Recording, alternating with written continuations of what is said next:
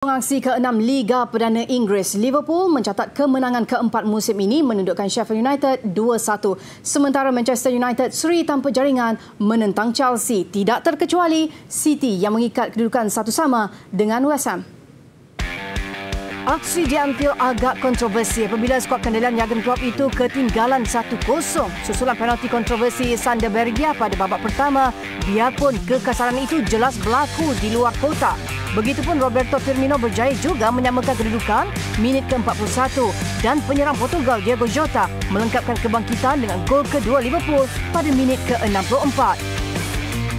Sementara itu, Manchester United gagal memanfaat peluang di laman sendiri seri tanpa sebarang jaringan menentang Chelsea.